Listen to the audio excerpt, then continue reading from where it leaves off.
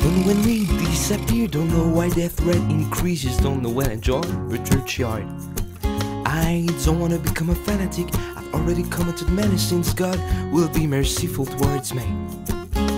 But please stop questioning and keep on enjoying every little moment you live and let a breath you take.